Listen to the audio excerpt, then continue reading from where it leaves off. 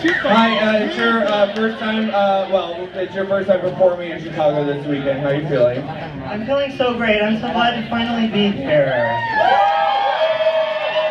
Well, you're lucky because it just so happens that Chicago is the greatest city in the world. You